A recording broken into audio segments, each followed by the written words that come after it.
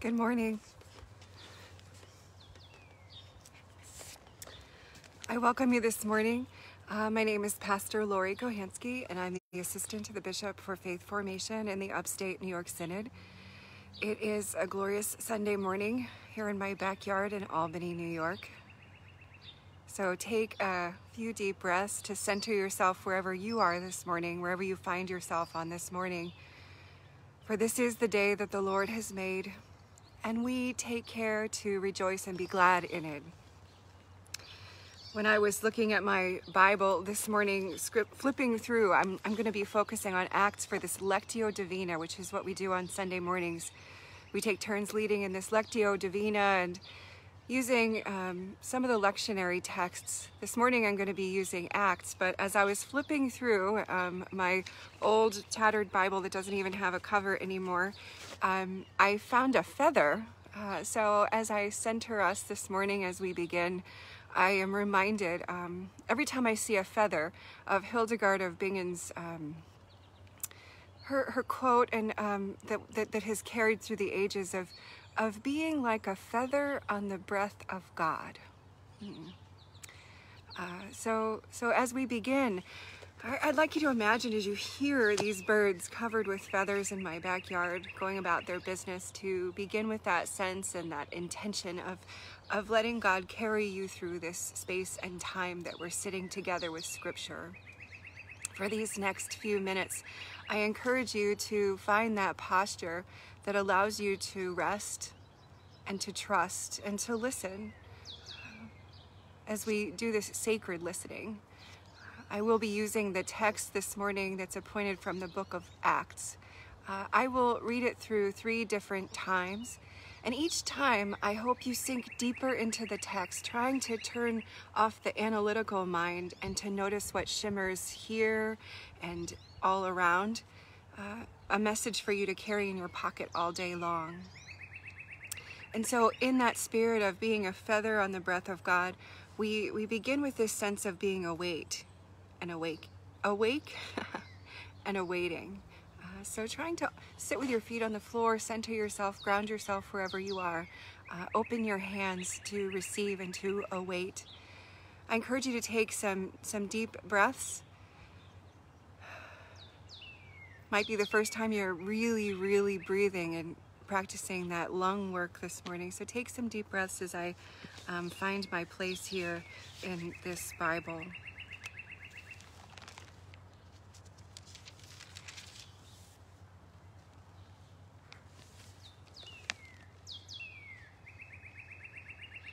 So I'm reading from the book of Acts, and in this first movement of listening, uh, we're going to keep using what I often do when I come on to be with you during this sacred listening, are the stages that Julian of Norwich um, put into her body prayer. So we started with the sense of a weight. and the next part, I want you to listen for what God is calling you to allow, to allow into your open hands and heart. And perhaps you'll hear a strong message, um, perhaps not, but I want you to listen to the words um, with that intention of what is God calling you to allow into your life right now. They devoted themselves to the apostles' teaching and fellowship and to the breaking of bread and prayers. Awe came upon everyone because many wonders and signs were being done by the apostles. All who believed were together and had all things in common.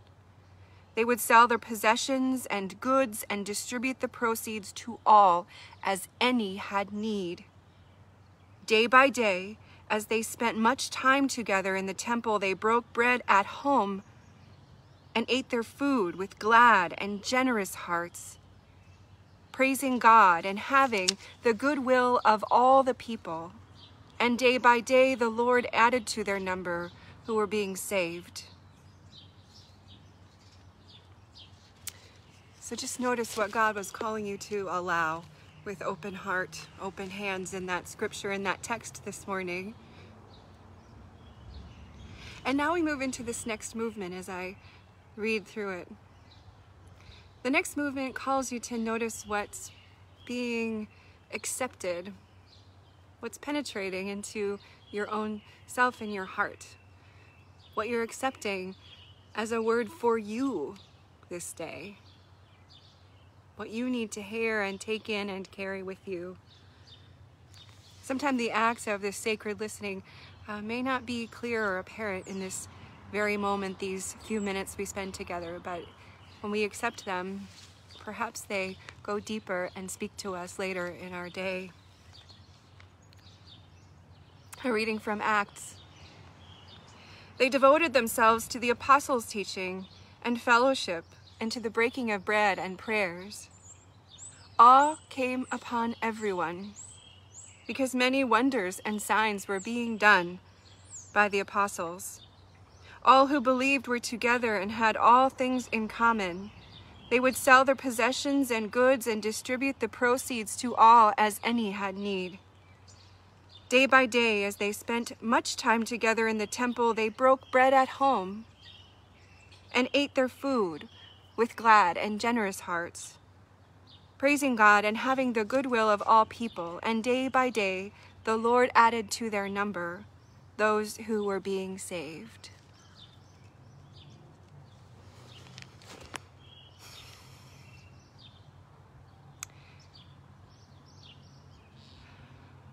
Just taking a breath or two to let it come into my own heart. Noticing what shimmers and shines for me. And now this last movement, this last listening, uh, calls me to notice and attend to what the scripture has to say about my place in the world. What we need to attend to, what we're called on to attend to, what shimmers and shines what it feels like to follow the Word of God even now, today, so many years after these words were written. So, as you listen this last time, notice what God is calling you to attend to in the world. Even as you may not physically be leaving your homes the way you have before, notice how God still is using your hands and your heart, your work and your mind calling on you to attend to the work, attend to the grace received, attend to the people around you.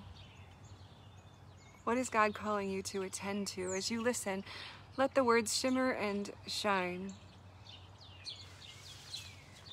A reading from the book of Acts. They devoted themselves to the apostles' teaching and fellowship and to the breaking of bread and prayers. Awe came upon everyone because many wonders and signs were being done by the apostles. All who believed were together and had things in common. They would sell their possessions and goods and distribute them all to any as any had need. Day by day, as they spent much time together in the temple, they broke bread at home and ate their food with glad and generous hearts, praising God and having the good will of all people. And day by day, the Lord added to their number those who were being saved. Thank you for this time this morning as we have attended to Scripture in this way, as we have noticed the sacred writing and the sacred listening that is asked of us. And I pray that you notice feathers along your way and that those feathers remind you that we are but a feather on the breath of God. Blessings.